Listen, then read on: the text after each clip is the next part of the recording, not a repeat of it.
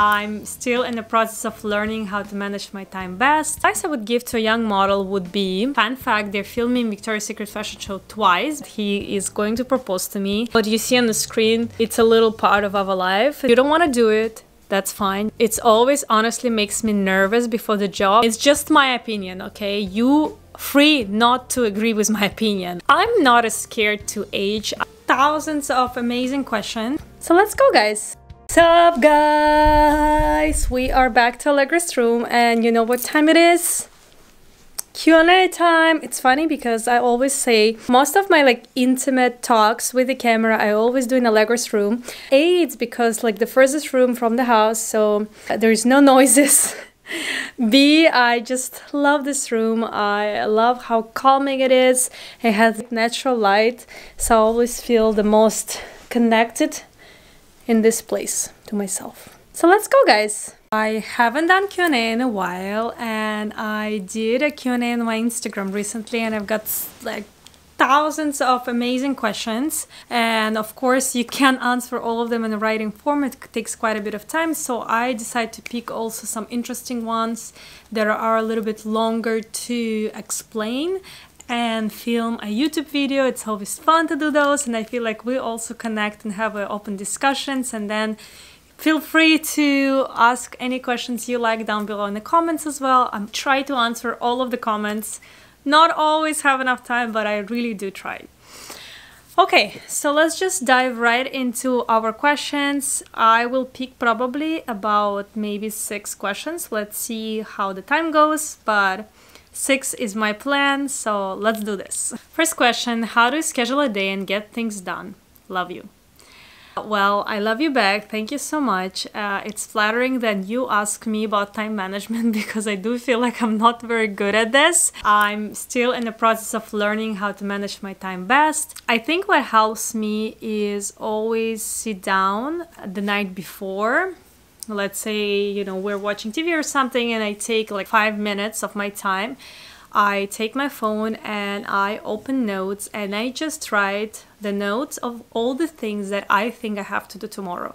I don't know why but specifically in the evening i have a little bit of clarity about things that I have to do tomorrow. Not the morning off. I don't know why. When I wake up, I just feel so hectic already and my mind is running and I just feel like I have to rush into getting things done. So I feel like it helps a lot to schedule things the night before. So my tip is just to take five ten minutes the night before and write all the things down that you have to do the next day. Advice to a young model. I thought I'll pick this question because I've got a lot of modeling questions since probably people see me more as an expert in modeling since I spent most of my adulthood life uh, as a model and also my teenage years.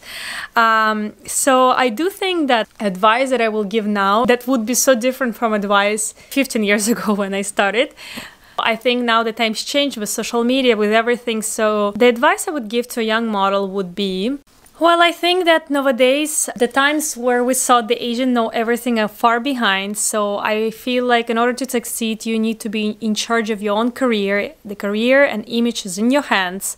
So my tips would be create your unique style. You have to work hard on building your own portfolio, right? And nowadays with social media, you can reach out to so many beautiful talents and do your own research. So don't sit back and wait for things to happen and for agent to like create your portfolio.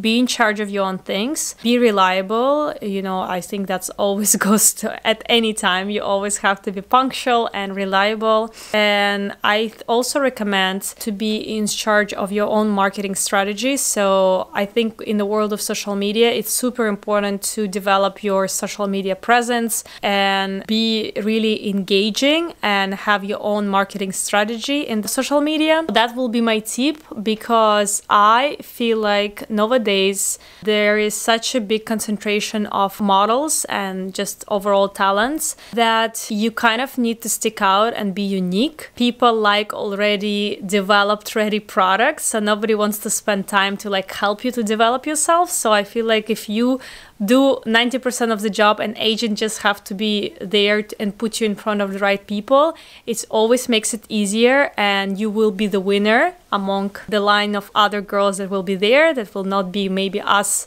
in charge of their own destiny as you. I just think that the client nowadays don't want just a pretty face, they want a story behind that pretty face too. So that will be my tip. Next question. Share a memory from Victoria's Secret fashion show.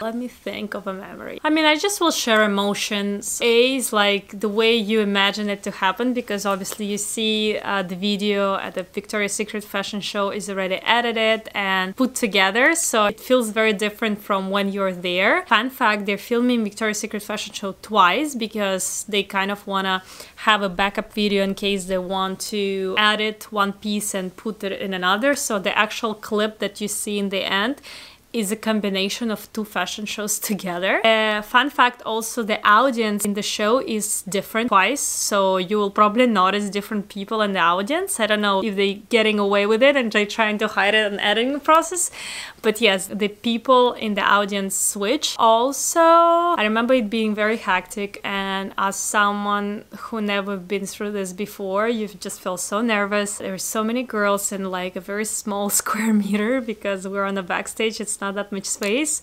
And we're just all tucked in into the same room.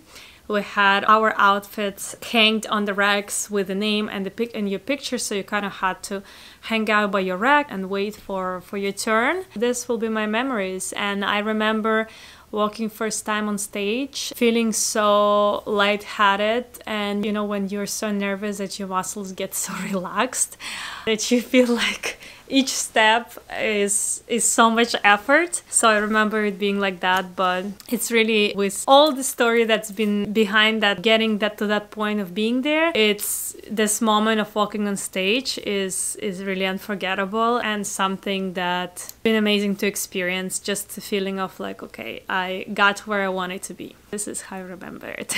Let's go a little bit off topic of modeling. This question did you expect your hubby to propose or was it a surprise? It was a surprise, but it was not as well because my husband shared with his friend that lives in New York that he is going to propose to me and as always, of course, the friend went and told everyone. So one of the friends told me, I don't know why she did that. She basically told me like, "Oh, you're going to vacation, you know, with Valerio." And I said, "Yes." He goes, "Oh, oh," and you know, I think he's going to propose it like something in a very sarcastic way but it made me think like mm, why did she say that like what is behind that she kind of tried to be sarcastic and predicting but in the end, I kind of felt that she said it because she probably heard about it. And when he proposed to me, I actually asked her, I was like, Did you know? And she's like, Yeah, she told me who told her. So, a little tip to the guys don't share with your friends that you want to propose because someone will tell you secret for sure. People are not very good at keeping secrets, as practice show. I also picked this question because I saw interesting thoughts on social media when your daughter gets older. It's a very interesting question because it's I thought about it multiple times and of course, you know, since she's so little, she can't really take her decision of being on screen or not which is normal. This is my career and this is my life. I've been a model in the public eye and now I'm running social media. So it's been the biggest part of my life being in front of people. This is who I am. Since I became a mom, I don't want to change my life completely 360 and reinvent myself and find another job. I'm happy where I am. I'm happy to do my job. Of course, since my blog is about my life, I feel like I have to share also my family life and I honestly love to share motherhood tips and family life in general because I do feel like I have a lot of female audience who are interested to just have a little glimpse and maybe advice. But I have to say, I always very mindful of not oversharing things. I think maybe for someone it is oversharing, but I'm always trying to be mindful of not always being there with the camera. So what you see on the screen, it's a little part of our life. It's not majority of our life. So I don't know. I consider myself a very present mom. I don't think I'm oversharing too much. Overall, she enjoyed doing it. And fun fact, like two days ago, I had to film interview for one of the brands that we did shoot together with my daughter and for whatever reason she wasn't in the mood after school and i really had to do that you know that filming for the interview and she was just acting out and as much as I wanted to do it with her, I took a moment and I told myself, you know what? This is my career path and this is my choice to do those things. If she doesn't feel like doing it, I shouldn't be forcing her. And I just told her, listen, if you don't want to do it, that's fine. You can go and you play in another room and you wait for me for 10 minutes. Mama's just gonna finish her work and come back. If you feel like doing it, great, let's do it together.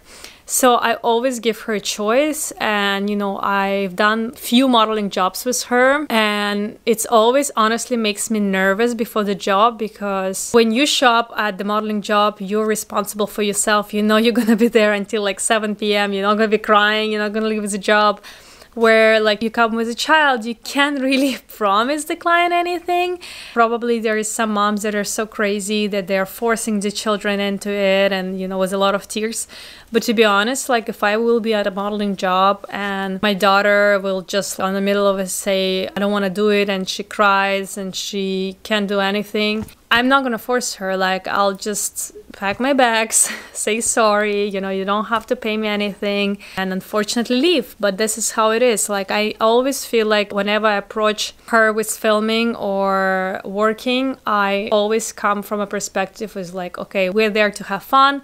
She wants to do it not from forceful perspective. I hope that's answer your question. But when she's older, I mean, I don't know, I'll share with you the experience.